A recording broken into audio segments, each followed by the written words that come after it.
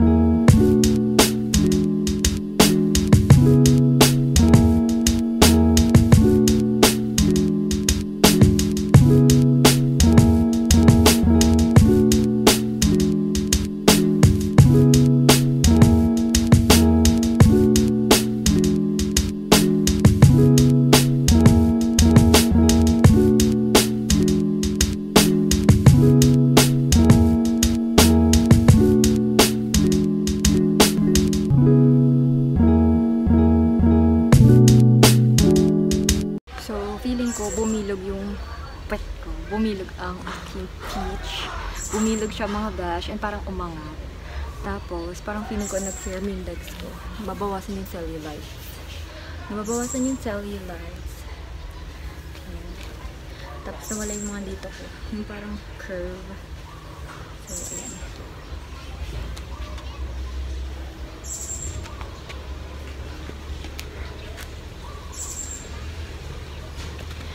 So, yun lang. Try nyo din. So, ginagawa ko siya um, 15 times sa isang set. So, 3 sets siya. So, ayun. Yun lang. Bye!